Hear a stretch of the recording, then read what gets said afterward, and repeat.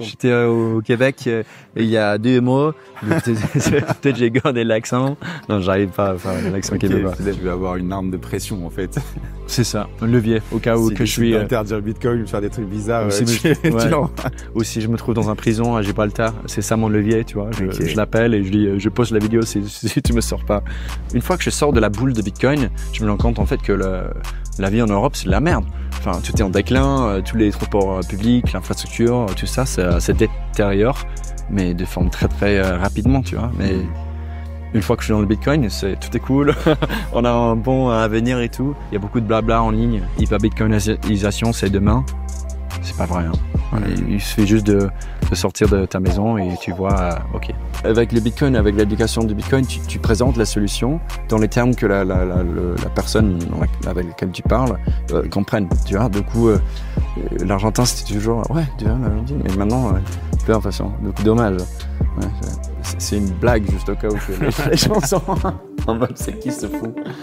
What's the second best? There is no second best.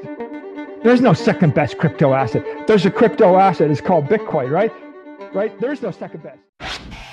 Si vous écoutez nos vidéos, c'est sûrement parce que tout comme moi, vous avez eu un doute dans les affirmations des économistes et autres politiques qu'on retrouve sur les plateaux télé. Bitcoin vous semble être une proposition intéressante, mais vous avez du mal à avoir une vision complète de la chose, à vous projeter dans le futur et voir comment notre société pourrait être totalement métamorphosée avec une monnaie saine. Eh bien, sachez qu'aujourd'hui, des cerveaux brillants se sont posés les mêmes questions et y répondent dans des livres qui sont aujourd'hui traduits par la maison d'édition Consensus Network, qui est le sponsor de cette vidéo. Vous retrouverez sur leur boutique par exemple l'auteur qui m'a fait avoir mon obsession avec Bitcoin, Steph Dinamous, qui a réalisé la trilogie L'étalon Bitcoin, l'étalon Fiat et Principes économiques, vendu à plusieurs millions d'exemplaires. Vous retrouverez aussi des auteurs français édités exclusivement par Consensus Network, comme deux livres qui viennent tout juste de sortir, L'élégance de Bitcoin de Ludovic Lars et l'énergie de la face cachée de la monnaie de Pierre Noisa, pionnier sur Bitcoin. Si vous souhaitez vous offrir ces livres ou en offrir à votre famille, à votre oncle, à votre enfant, à votre sœur, à votre frère ou au président Macron pour qu'il puisse enfin s'orange pile et partager votre obsession et je sais de quoi je parle, nous avons un code promo pour vous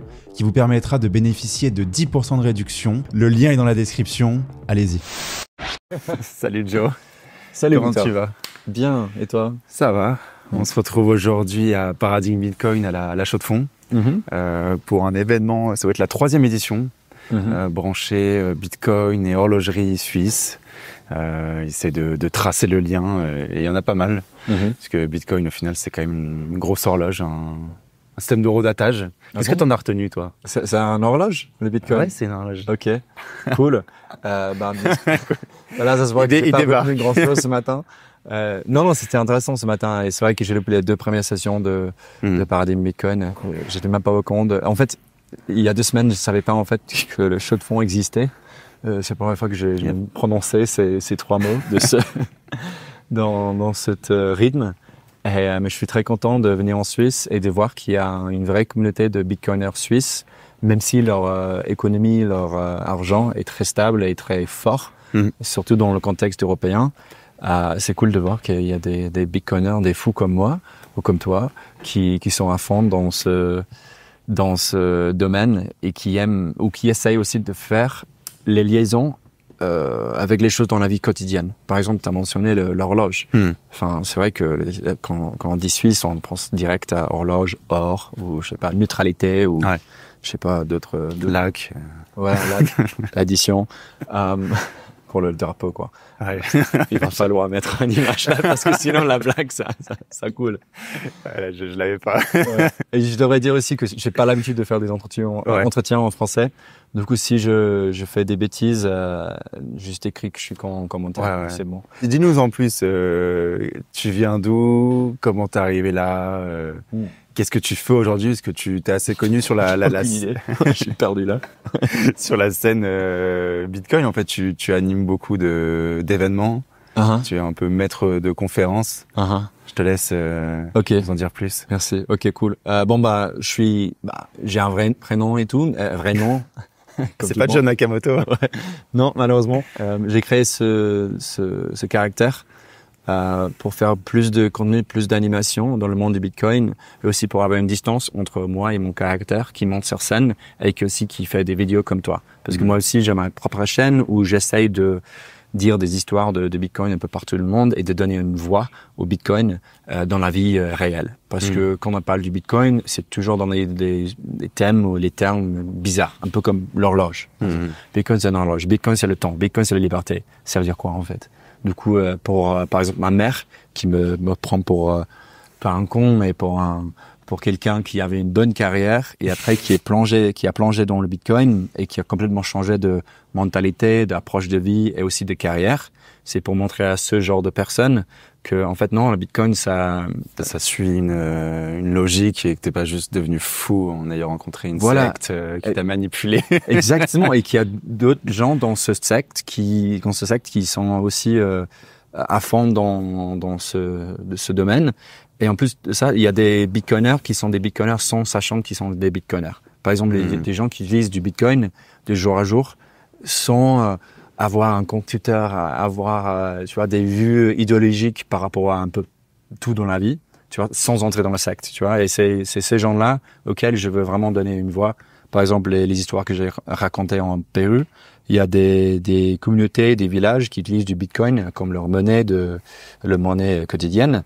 Euh, et eux, ils sont pas sur Twitter, hein. ils sont pas sur, même pas sur YouTube. Ils sont, ils sont fous de de, mm. de tout ce qu'on dit ici par rapport au Bitcoin. Ils utilisent le Bitcoin parce que c'est utile et parce que c'est un outil qui a qui a changé euh, leur vie.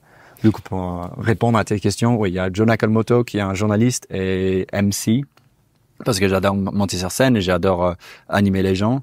Mais de base, ouais, je suis journaliste depuis 7 ans et j'ai bossé. Eh, MC, euh, maître de conférence. Euh, maître de cérémonie. Enfin, cérémonie. Ouais. En fait, on a, c'est, c'est le truc de, en, anglais où on a gardé le truc français et les Français ils disent plus ce, cette phrase. Du coup, MC, ouais, c'est maître de cérémonie et vous, vous, vous le dites plus. Euh, je, ça me dit rien, non? Ouais, voilà. Donc c'est un, un, peu comme euh, coup de grâce ou euh, coup de coup de tête ou coup de. Ah si, ça, ça on le dit encore. Ça, on... ok, cool. Je lui mets un coup de grâce. Ok, cool, parce que tu vois, tu dis ça en anglais pour être, pour avoir l'air un peu plus euh, éduqué. Mhm. Voilà. Ouais, voilà, exactement. Ouais. Mais on dit avec un mauvais accent, euh, voilà. Tu vois, et, et, nous, du coup, on le reprend.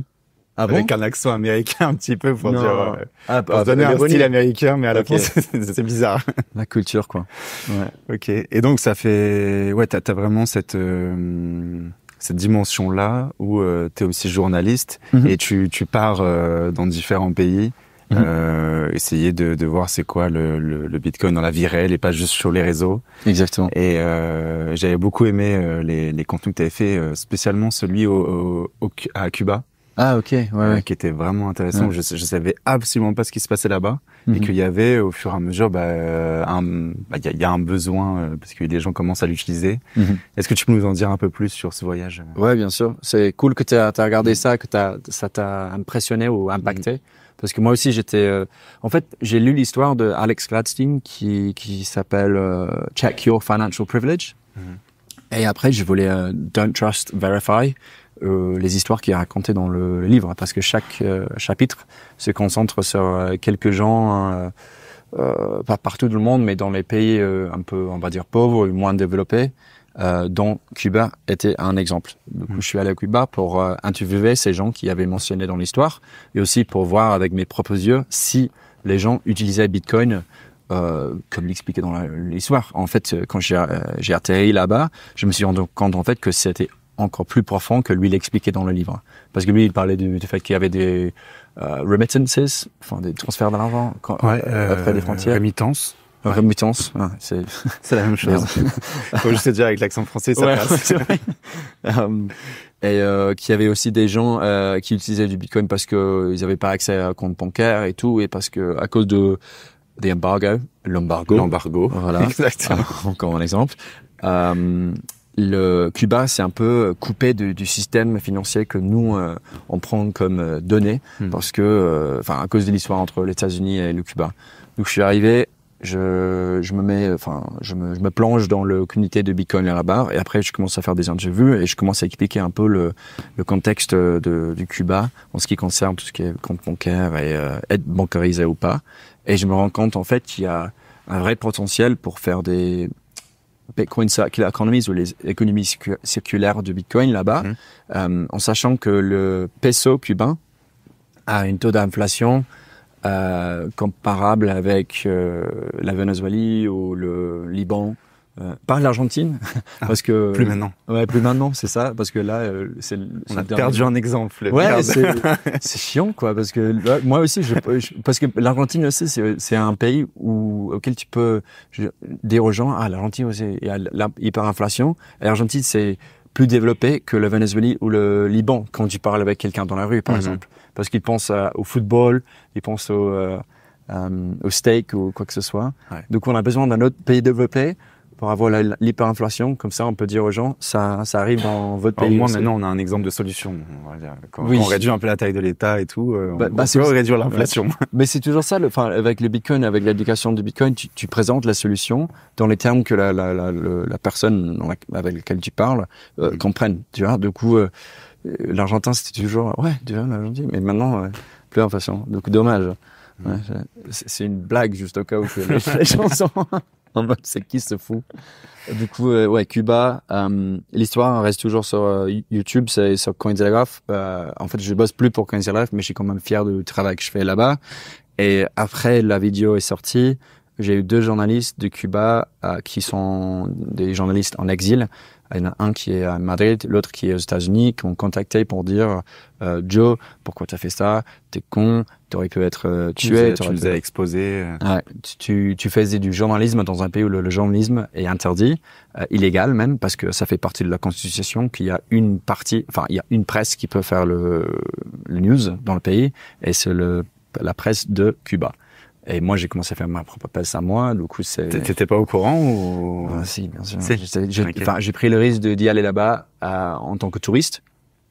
Euh, nous deux, moi et Paco, mon ami, euh, qui m'a accompagné, on était là comme touristes. Tu vois, on faisait juste des photos, des vidéos de tourisme. Donc il y avait un, un instance où euh, les les espionneurs, espionnage, espionnes, les espions, les espions cubains nous ont suivis euh, lorsque nous on était dans un marché, on interviewait les Cubains euh, pour montrer le fait qu'eux, même s'ils gagnaient un ou deux dollars par jour, ils avaient des smartphones cassés et vraiment des, des smartphones horribles, mais c'était quand même des smartphones pour dire ok, s'il y a des smartphones ici, ça veut dire que le Bitcoin peut pénétrer parce que les deux choses dont tu as besoin pour avoir un Bitcoin, c'est Internet et smartphone. Et des fois, il y a aussi des, des cases ou des exemples où tu n'as pas besoin d'un smartphone. Euh, par exemple, avec Machampura en Afrique. Euh, du coup, euh, il y avait deux gens bizarres. C'est un peu comme en Harry Potter, tu vois, quand il y a des, des mentors, de, de menteurs qui qui entrent les, les kraken euh, ouais et ça s'appelle ça en français les kraken tire l'énergie ouais. Ouais et, tout est devenu froid et après Paco me, me regardait t'as senti la tension qui, qui se crée autour de toi autour des gens euh, exactement. qui eux savaient en fait. Ouais ouais et il y avait des eux en plus ils portaient des chaussures différentes. Enfin ils avaient des chaussures noires euh, en cuir. Hmm. et les gens avec lesquels on parlait ils avaient pas de chaussures donc il y avait un fort contraste. On les voit venir. Ok, c'était les agents en fait, un peu à la Matrix. Et du coup, ouais, un peu ça. Et du coup, Paco me regardait. Et Paco, il est très intelligent euh, de, de rue, on va dire. Genre, il, il, a, il, a, grandi dans la rue, tu vois. Du coup, il, me regardait mode, il faut qu'on sorte ici. Et il, a ses, antennes qui. Euh... C'est ça, qui brûlaient. il me gardait. Et du coup, il me dit, il faut qu'on aille, il faut qu'on aille. Du coup, on part de, de ce marché et les agents, ils nous suivent. Et du coup, moi, je, je, je explique au Paco, euh, Paco, il y a un truc dans la vie qui s'appelle le, le, privilège des blancs. Donc, on va, on va faire un vlog maintenant. On va faire un vlog. Ah, on est en vacances ensemble, ta, ta, ta. Tu vois, on est juste en train de balader. Ah, tiens, il y a des cocos ici. Oh, c'est tellement beau, le, la Cuba. Et les agents, ils nous suivent, ils nous suivent et ils nous interpellent pas. Euh, par contre, une fois que nous, on passe le, la, la maison des agences, euh, qui est en fait le, le, motif de cette maison, c'est les yeux et les oreilles de la Révolution. Euh, eux, ils montent dans la, la, maison et nous, on continue à balader. Et, ils, sont juste là, euh, aux, aux hauts des, des, échelles de la maison et ils nous regardent et c'est tout. C'est fini. Et c'est du coup, nous, on continue à balader, on respire, on se dévoile un peu en mode putain, mais qu'est-ce qui se passait là? Et on, on, se rend compte en fait que eux, eux, ils voulaient juste montrer un message qu'ils nous surveillent, ils nous regardent, ils savent ce qu'on fait et euh, il faut pas aller euh, à ce point-là. En fait, c'est une forme de contrôle. Okay. Euh, mais c'était intéressant de voir euh, de près comment ce genre de système marche euh, dans un système que moi j'ai vécu moi-même. Parce que tu tu peux lire ça dans le livre par exemple d'Alex Latin mais de vivre ça après j'étais en mode ok ce pays a vraiment besoin de Bitcoin. Il y a 30 ans. Mais aujourd'hui il a un fort un fort fort besoin de, de Bitcoin. Du coup je suis content que la, la le, le documentaire a sorti que ça a fait un petit peu un buzz de Bitcoin dans l'île. Et maintenant, il y a des, des, des cours de My First Bitcoin, ou Mi, Mi Primer Bitcoin, qui se passent euh, euh, dans trois villages de Cuba. Et c'est en mode souterrain ou c'est officiel? Est-ce qu'ils ont le droit de, de promouvoir ça? Bah, c'est En fait, c'est un peu comme le, le fait que les espions nous ont suivis ils savent que ça, ça se passe, ils n'ont pas encore pris une décision, tu vois. Du coup, les courses passent, euh, ils peuvent parler du Bitcoin. Il y a des restos et tout qui acceptent du Bitcoin. Nous, on a servi de Bitcoin pendant les deux semaines qu'on était là, mais tu sais pas à quel point euh, il y aura un danger ou un risque, parce que ça, c'est en forme de contrôle, tu vois. C'est un peu comme pendant le Covid. Genre, il y avait tellement de règles, tellement de surveillance, tellement de de peur et de, faire risque. le doute en permanence. De ouais, que tu es juste en mode, mais qu'est-ce que je fais aujourd'hui Et tu, tu dormais pas bien. Et ça, c'est aussi une forme de contrôle.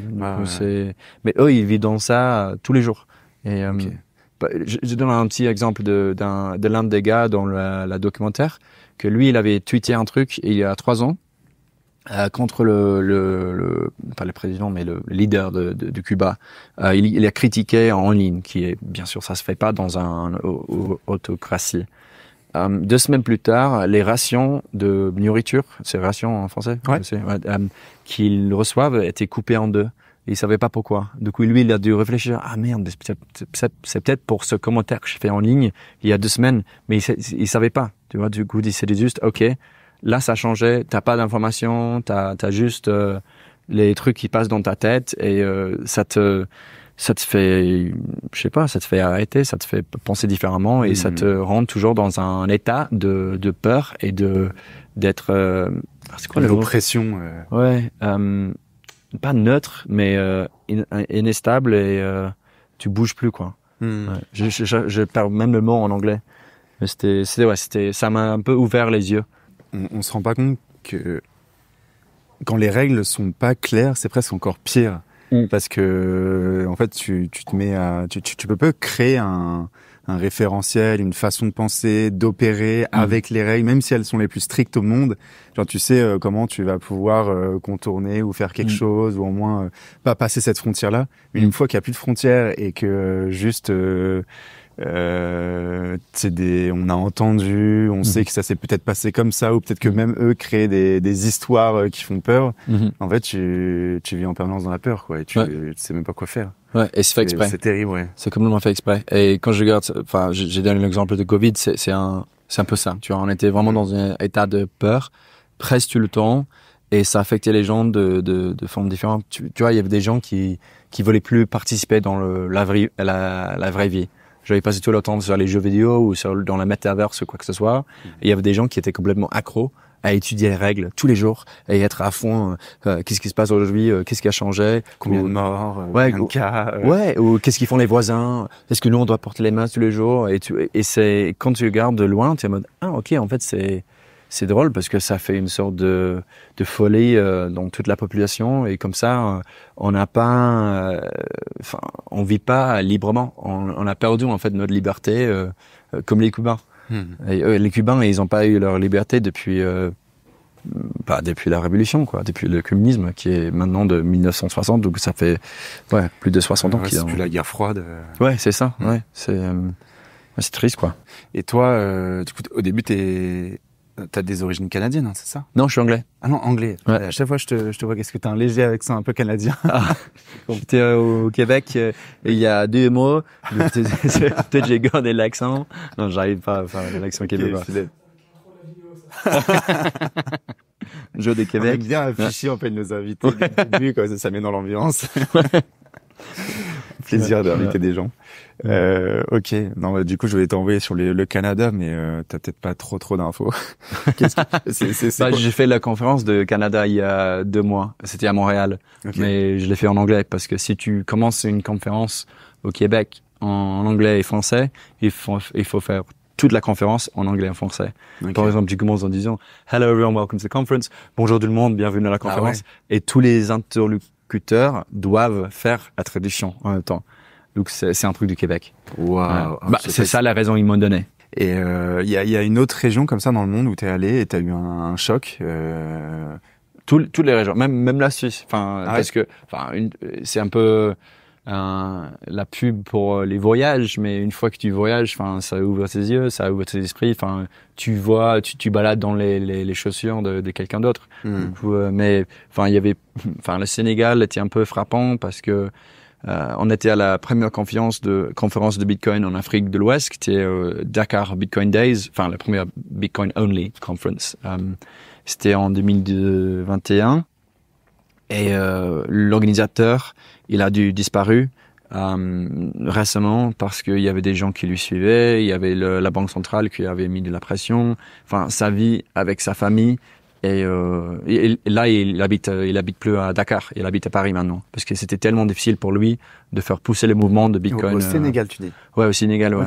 c'est un régime qui est, qui est assez dur c'est en fait toute l'Afrique qui est dure à faire progresser des choses, euh, mais le Sénégal et le Bitcoin c'était encore plus difficile. Genre ils ouvrir une boutique qui s'appelait Bitik, qui euh, l'idée c'était de donner les cours d'éducation de Bitcoin gratuits et après faire euh, une sorte d'échange parce que lui il avait créé quelques économies séculaires à Dakar et à l'île Angor qui est au nord de Dakar et euh, dans ces euh, économies circulaires, ben, bien sûr, il y a, a, aucun économie qui est vraiment circulaire. Par exemple, si toi tu pars en vacances euh, avec tes euros, euh, qui est une économie circulaire en Suisse, il faut échanger les euros pour les, les francs mmh. suisses parce qu'il n'y a pas de monnaie qui est universelle, genre 100% universelle. Du coup, forcément, à Dakar, il y avait dû euh, créer ou donner les options pour échanger les SATs dans les CFA. Donc, il a créé cette boutique, mais deux mois après avoir euh, ouvert la, la, porte de la boutique, il a eu des harcèlements, des problèmes, enfin des, euh, il y avait même des, des, des euh, bancaires euh, centrales bancaires les bancaires centrales. les, les, banques centrales. Voilà les, banquiers centraux. Ouais voilà c'est ça les banquiers centraux qui sont venus juste pour lui euh, harceler et dire que c'est interdit mais c'est pas interdit c'est pas illégal ça fait partie de la constitution mais c'était dans une période difficile de l'histoire de Sénégal. Là ils ont changé de président et tout mais il a dû rentrer à Paris avec sa famille il veut plus enfin il veut plus être un visage dans le système, euh, l'écosystème de sénégalais de, du Bitcoin. Il y a quelqu'un qui l'a remplacé, mais aussi lui, il, il comprend les risques. Donc ça, c'est un petit écosystème, mais tu peux voir euh, le l'enjeu dans plusieurs pays africains. Euh, et, pareil en, Amérique latine, on vient de voir la déillégalisation de Bitcoin en Bolivie. Ouais parce que c'était illégal pendant quelques, euh, quelques années et là ils ont re-légalisé et c'est pareil, pareil au Maroc. Enfin le Maroc c'était illégal, maintenant c'est juste ah c'est bon ça restreinte. C'est restreinte. Enfin c'est euh, Enfin, il y a des, beaucoup de restrictions en place, mais euh, c'est pas illégal comme c'était il y a trois ans où il y avait quelqu'un qui voulait acheter un Ferrari avec mhm. Bitcoin qui est allé au. C'était un Français, il me semble en plus. Ouais, c'est au Maroc. Et du coup, euh, du coup c'est ouais, c'est si tu voyages, tu vois ce, ces différences et euh, ces, ouais, ces défis d'utiliser le Bitcoin un peu partout dans le monde. Parce que il y a beaucoup de blabla en ligne. Hyper Bitcoinisation, c'est demain. C'est pas vrai. Hein. Il suffit juste de, de, sortir de ta maison et tu vois, euh, ok. Bah, comme toi, non? Toi, tu voyages beaucoup avec du Bitcoin. Et, euh, Ouais. Bah, c'est vrai qu'en ce moment, les voyages qu'on fait, c'est souvent dans des conférences et euh, dans la boule de Bitcoin. un peu entre nous. Ouais. Mais euh, non, c'est vrai qu'à chaque fois, tu essayes d'en parler avec les gens. Euh, c'est dur de leur, leur, faire comprendre qu'il y a une utilité, que ça peut être une arme euh, de souveraineté, en tout cas un bouclier plutôt. Souveraineté. Qui, qui, qui s'en fout de le, mot souveraineté ouais. Aux gens, ils s'en foutent parce que c'est un mm. truc que tu comprends après avoir étudié Bitcoin ou si tu es déjà quelqu'un de euh, libertarien, tu vois. Mm. Et, mais libertarien, moi je savais pas ce que c'était euh, libertarianisme avant de, de, plonger dans le, le rabbit hole de, de Bitcoin. Ouais. Donc, toi, pareil, j'imagine, où t'étais déjà. Ah, c'est vraiment Bitcoin qui nous a fait tomber là-dedans, euh, prendre conscience que on n'était pas dans, dans, le vrai capitalisme. Qu'on est carrément dans un état socialiste et. Euh, ouais. Ouais. Non, il n'y a aucune souveraineté, mais je savais pas avant. Donc, est-ce que j'avais vraiment ma souveraineté Est-ce que j'avais plus de souveraineté avant que je que je comprenais que ça existait? Tu vois ce que je veux dire? Euh, Maintenant que je sais que la souveraineté existe et je sais que Bitcoin m'aide à gagner de la souveraineté, est-ce que le fait que je savais pas que j'avais ah, le, fait de savoir, tu prends conscience euh, que, tu as moins. ouais, après c'est ignorance is bliss. Euh. Hmm. c'est ça. C'est ça. Ouais, tu retournes dans le pod de Matrix et ouais, tu parce le que quoi. Ouais, parce que le steak c'était tellement bon et Ouais, c'est le danger. Qu'est-ce que tu en penses de ça Toi, tu, tu, tu penses à des moments, il y a des gens, mieux vaut ne pas leur en parler, genre tu, tu veux presque les protéger euh, de du savoir? Bah, Parce qu'il y a des moments, tu te dis, je, sais pas, moi, je, je vais regarder avec mes parents ou même ma mère, ma sœur, je me dis, mais il y a des moments de, de, de connaître l'information, c'est presque stressant, quoi. C'est ouais il y a un truc, euh, je dis, est-ce que tu préfères pas les, les protéger, les laisser un peu dans leur euh, bulle, entre guillemets, d'ignorance, mhm. toi, euh, te hedger contre le système, accumuler des bitcoins, dire, bon voilà, c'est un jour un problème, bah, ouais. en tout cas, ils compteront un peu sur moi, mais je leur laisse vivre comme des, des brebis dans, dans, ce monde de loup. c'est, c'est drôle parce que j'ai assisté à une conférence à Londres il y a trois mois où quelqu'un avait demandé aux gens qui stack ici? Qui stack ça C'est ici? Tout le monde lève la main. Qui stack ici pour quelqu'un qui est dans leur famille? Tout le monde a laissé la main parce que tout le monde stack pour quelqu'un dans leur famille euh, qui, enfin, qui n'ont pas compris ce que qu'est-ce que c'était euh, Bitcoin, qu'est-ce que c'est Bitcoin, ou qui veulent pas comprendre, ou qui veulent pas plonger dans le, le, rabbit hole. Du coup, euh, je crois que oui, il y a un, un, argument pour dire que oui, ignorance is bliss, et que il y a aussi l'argument, par exemple, les enfants ou les handicapés ou les, les très très vieux, ils ont pas besoin. Enfin, forcément, il y a des limites. Bitcoin n'est pas pour tout le monde. Hein. C'est, mm. je veux pas comme ma grand-mère de 90 ans, elle garde ses propres clés parce que elle n'arrive pas à garder ses propres clés de maison. Ouais. c'est forcément c'est. Euh, du coup, ouais, peut-être il y a un argument de ça aussi parce que si tu plonges vraiment profond dans le rabbit hole, bah tu te rends compte en fait qu'il y a que des mensonges partout et euh, bah c'est c'est triste quoi. C'est c'est dur de de voir le côté positif ou même optimiste. Mais en même temps, on habite, nous, on est dans un système qui est très, très, très optimiste. Enfin, tu vois, le téléconférence. Une fois que je sors de la boule de Bitcoin, je me rends compte, en fait, que la vie en Europe, c'est de la merde. Enfin, tout est en déclin, euh, tous les transports euh, publics, l'infrastructure, tout ça, ça, ça détériore, mais de forme très, très euh, rapidement, tu vois. Mais, mmh une fois que je suis dans le Bitcoin, c'est tout est cool, on a un bon avenir et tout, mais c'est aussi parce qu'on a fait le travail de d'étudier euh, pourquoi ça marchait pas, pourquoi on a tel problème et pourquoi il y a une solution et pourquoi les solutions, c'est pas que ça marche mais que c'est on a testé que ça marche, tu vois, ça, ça fait 15 ans d'existence que le Bitcoin a créé un nouveau bloc chaque 10 minutes et on sait maintenant que ça ça marche. Hmm. J'ai pas vraiment répondu à la question parce que c'est dur. Mais ouais, c'est euh, dur. Ça. Mais peut-être oui, il faut protéger quelques quelques gens ou quelques. Mhm. Ouais, parce que moi, ça, je le, je le vois, même euh, parce que j'ai besoin d'en parler, tu vois, autour de moi. Mm. Et par exemple, avec ma mère, je lui parlais de mes dernières découvertes, de ce que j'ai compris. Uh-huh. et, euh, et, en même temps, ça me fait du bien, tu vois, le d'en parler. J'en parle aussi avec Alex. Mm-hmm. Et euh, parce qu'il n'y a pas non plus beaucoup de personnes dans notre entourage à qui on peut parler de ça, à part pendant les conférences euh, Bitcoin où il y a que des gens qui sont illuminés. Mm-hmm. Le reste du temps, il n'y a pas grand monde et ça fait du bien d'avoir des gens dans, dans son entourage proche avec qui tu peux en parler. Mais à des moments, je me dis, ouais, je suis en train de les stresser, en fait. Euh, je leur dis que, voilà, nos, monnaies vont s'effondrer, faites attention, euh, l'apocalypse est là et tout. J'ai un ami qui a, a, il expliquait dans un, dans le VG euh, que j'ai cité, il disait, oh, moi, je donne 20 000 par an à la retraite. Et je dis, mec, mais la retraite va, va pas être là quand, quand nous, on prend la retraite. Il a dit, ah bon? Ben, tu, tu, penses vraiment que l'État va, va continuer jusqu'à, je sais pas, 2060 Ah bah oui, oui, oui, bien sûr. Ah, et pourquoi? Comment? Explique-moi comment l'État va... Et du coup, j'ai commencé à poser ces questions et lui, il a dit, mais, putain, mais en fait, c'est vrai que il gagne bien, tu vois, hmm. mais il donne tellement d'argent à sa retraite, sa, sa, son pot de retraite. Euh, et il était content de ce fait. Et à la fin de la conversation avec moi, il était en mode, putain, mais... Euh, en fait, euh, pourquoi je donne tout ça euh, quand il n'y a pas cette euh, certitude qu'il y aura un État ou qu'il y aura le, livre sterling d'ici hmm. dans... Moi, je dis pas que le livre sterling va durer 20 ans de plus. Hein. C'était déjà le... the reserve currency. La, monnaie de réserve. La monnaie de réserve il y a 150 ans. Et ça commence déjà à, à, à, Inflate Avoir l'inflation. Avoir l'inflation. D'équivalent.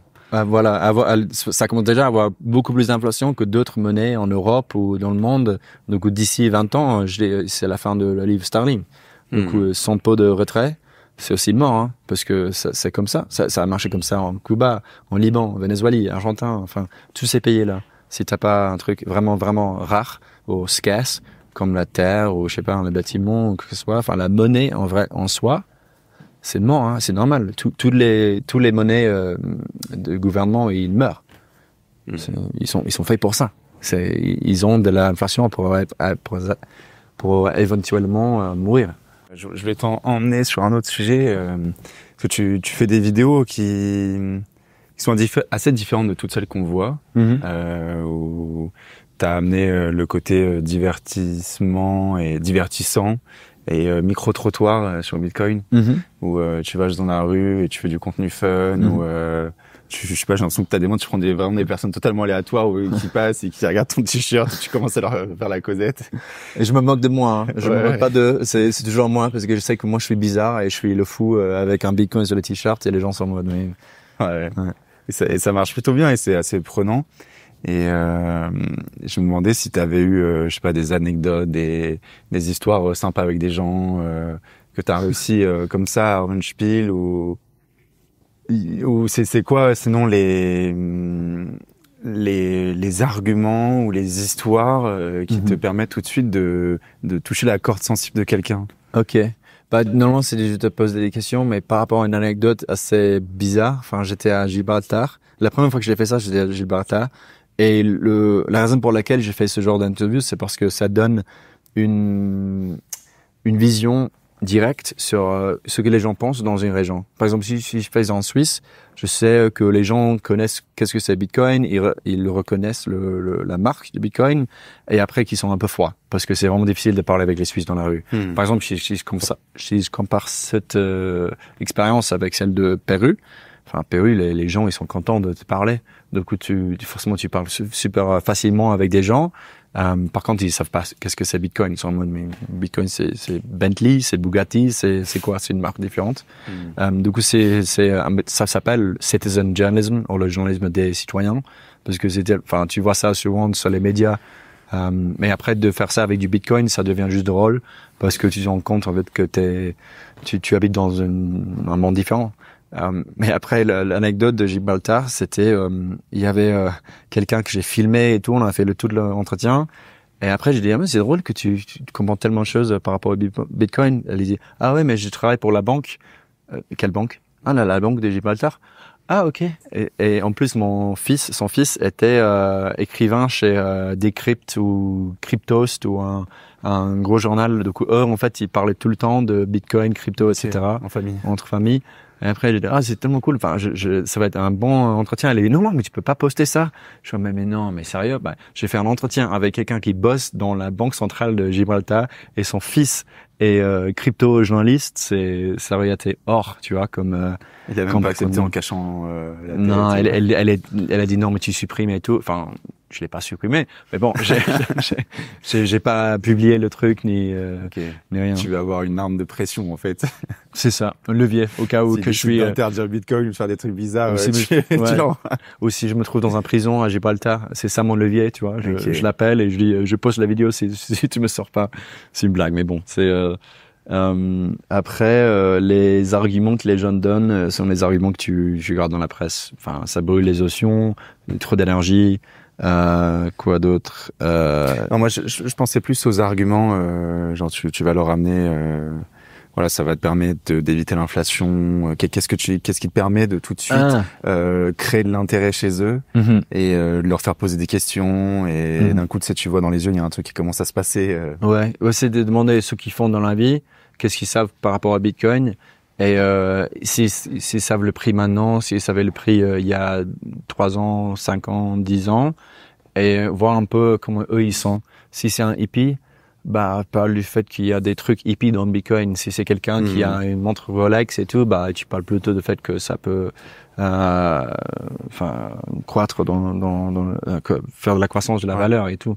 Du coup, c'est vraiment spécifique. Et vu que c'est un entretien avec quelqu'un, bah, et si tu, si tu montres un trait dans quelqu'un, bah, normalement, il parle un peu d'eux et après, tu, tu hmm. dis, ah, ok, ça pourrait marcher avec eux. Donc, c'est vraiment personnel. Donc, c'est difficile de, de, de donner des exemples généraux parce que il y a des trucs de contenu comme toi, par exemple, avec le contenu que, que vous faites, il y a des contenus qui marchent très, très bien avec une, euh, un genre de personne et le contenu qui marche pas du tout. Et du coup, c'est, c'est drôle de voir euh, comment ça marche, pourquoi ça marche. Et normalement, c'est très, très, très personnel. C'est un peu comme les élections, tu vois. Nous, hein, les élections en Angleterre en ce moment, et les gens, les raisons pour lesquelles ils votent, c'est, c'est très perso et c'est même, ça n'a rien à voir avec ce qu'ils disent dans, dans la mm. presse. C'est totalement subjectif et, ouais. Euh, ouais. par rapport au caractère de la personne. Ouais. Ou, un, ou un sourire. Ouais. Un, un, truc vraiment bizarre ou inuit que tu, tu, tu attendais pas. Ok, mais on parle de ça alors. Et après, tu parles de ce, euh, ce sujet spécifique et tu te rends compte, ok, cet argument pourrait marcher pour le, le Bitcoin et ça pourrait être un truc comme, euh, euh tu vois, il n'y a pas de gouvernement derrière, il n'y a vraiment pas de boîte ou de, de euh, tribunal qui, qui le contrôle, par exemple. Hmm. Ouais. J'ai pas mal parlé. Hein. Ouais. J'en ai une dernière, okay. ou peut-être qu'on la mettra au tout début, euh, mais c'était juste savoir un petit peu toi, euh, si tu avais eu une expérience euh, intéressante sur comment tu étais tombé dans le Bitcoin, sur qu'est-ce qui t'avait intrigué le plus? Et qui avait été hmm. une de tes grosses obsessions parce que j'ai l'impression qu'on passe tous par des étapes d'obsession successives dans le terrier du lapin et souvent au début c'est vraiment lié à Bitcoin mais après en fait ça, ça part sur différents segments tu vois je sais pas, hmm. le, libertarianisme comme tu avais dit ouais. est-ce qu'il y avait un truc enfin pour, pour moi tu as fait pas mal de recherches tu as envie de partager? Ouais, enfin, ce qui me motive, c'est toujours le journalisme et la vérité. Enfin, pour moi, c'est toujours de don't trust verify dans la vraie vie et dans le travail que moi je fais. Mais pour moi, enfin, la première fois que j'ai entendu parler de Bitcoin, c'était quand un ami a acheté du, des drogues sur le Silk Road. Et du coup, j'étais intéressé par ce, ce outil qui marchait, mais je l'ai pas acheté, je l'ai pas suivi, et j'ai trouvé Bitcoin un peu nul, un peu inutile, très long, euh, long, cher, et juste ça sert à quoi, tu vois? Mais hmm. du coup, j'étais un peu plus euh, Lightning pilé que Orange pilé parce que c'est grâce à l'introduction et le développement de Lightning que je, me suis rendu compte en fait que ça pourrait être plus rapide que Visa, même si ça c'est pas utile, enfin c'est pas important, c'est quand même euh, l'un des objectifs que Bitcoin doit atteindre et après euh, euh, vaincre. Enfin, le fait de, c'est, c'est un réseau qui est ok décentralisé, euh, censorship, résistant, euh, euh, résistant à la censure, à la censure et toutes les choses qu'on dit de par rapport au Bitcoin comme idéologie, mais ça marche pas comme pour quelqu'un dans la rue. Quand tu dis, par, par exemple, quand je paye avec la bague, parce que c'est NFC, je tape comme ça, j'ai payé une bière hier soir. Hmm. Et avant, tu voyais que la, la dame qui acceptait le Bitcoin pour les bières trouvait Bitcoin un peu genre bizarre. Après, j'ai juste tapé comme ça, j'ai payé. Elle a dit, ah, mais c'est comme euh, carte bleue. Et je dis, ouais, ouais, c'est, c'est, ça peut être comme, enfin, ce que tu veux dans la vie. Tu vois, ça peut être comme carte bleue, ça peut être comme une idéologie. Ça peut être comme euh, euh, la liberté, le libertarianisme. Ça peut aussi juste être ton, ta façon de faire des, économies. Pour, pour Bitcoin est toujours quelque chose de spécifique pour chaque individuel. Du coup, pour elle, maintenant, elle est en mode ah ok, mais en fait, il y avait quelqu'un hier qui a payé avec sa bague et là, je comprends que c'est juste comme Visa. Cool. Hmm. Et là, il plonge dans le, le, rabbit hole. Mais avant ce moment-là, il trouvait ça bizarre. Ils font des QR codes à chaque fois. Après, ils filment. Ils trouvent ça trop drôle. Et moi, je suis en mode, mais ils payent pour une bière. Tu vois, et après, tu tapes et ah, ok. Ça marche mieux ou aussi rapidement que, que Visa. Donc, hmm. c'est, encore, j'ai pas vraiment répondu à la question, mais, euh, mais bon. Lightning, euh, Lightning Pillet plus qu'Orange Pillet. Ok. Et maintenant, en plus, Orange 2017. Euh, ah non, ça m'a pris jusqu'à 2019 pour le prendre vraiment de sérieux. En 2017, j'ai vu la boule et je me dis, oh, c'est une boule, ça va jusqu'à zéro. Et après, en 2019, je me suis rendu compte que la boule que ça faisait, enfin, de 3000 jusqu'à 20 000, c'était à 3000 encore. Et je disais, mais, mais ça, ça baisse pas en dessous de 3000. Pourquoi?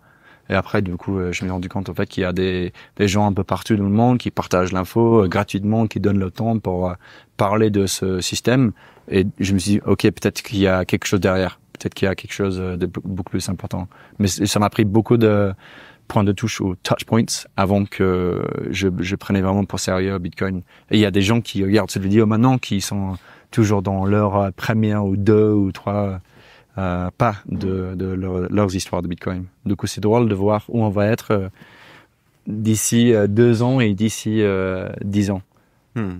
Si on est vraiment dans le premier moment de, de faire de l'histoire avec une nouvelle monnaie, c'est un peu drôle, non? C'est un peu OK, what the fuck? Ouais, des moments on se dit ça, putain, on est en train d'écrire l'histoire, euh, ouais.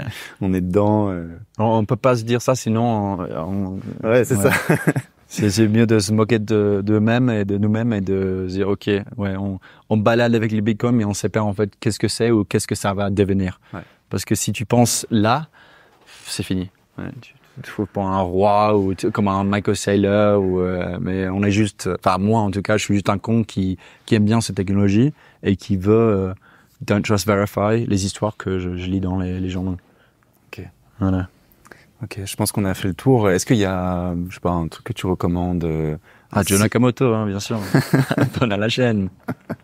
Bon, bah, allez vous abonner à Joe Nakamoto. T'as un, un, blog, c'est ça? Euh, euh, YouTube, YouTube? euh, ouais, tout est sur YouTube. Sinon, le site web, euh, Substack et tout. Enfin, j'écris aussi. Et sinon, on va au Québec. C'est le pays, c'est merveilleux. Euh, je suis pas canadien. Putain, il me l'a refait, quoi. je fais de la pub pour le Canada. il, il me paye.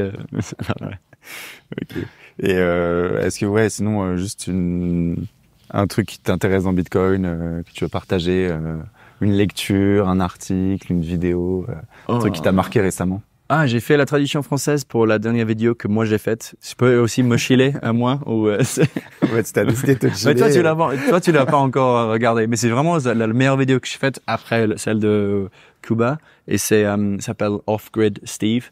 Euh, c'est un mec dans l'Angleterre qui a vendu sa maison et qui a, acheté une nouvelle petite maison, euh, genre une caravane, où il a mis des panneaux photovoltaïques et euh, il est complètement euh, hors grid. et il génère du Bitcoin avec le chauffage qui est créé par les mineurs.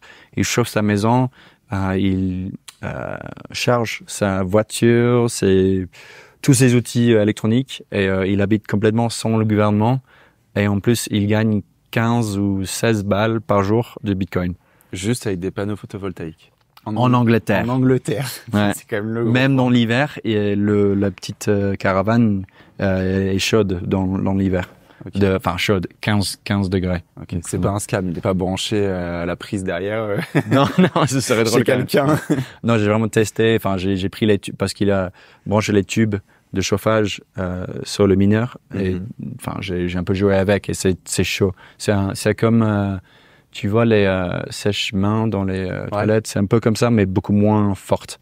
Mais ça fait moins de bruit aussi. Okay. On n'est pas encore au niveau de Dyson, mais bon. Ouais. Ok, on mettra la vidéo. Même si on n'a pas envie de recommander d'autres chaînes, mais. Ouais. okay, sinon, abonne-toi à How to Bitcoin. Et. Prends le bon choix. ouais, ouais. Bah, C'était un plaisir. Merci, Merci. Victor. À la prochaine. Cool.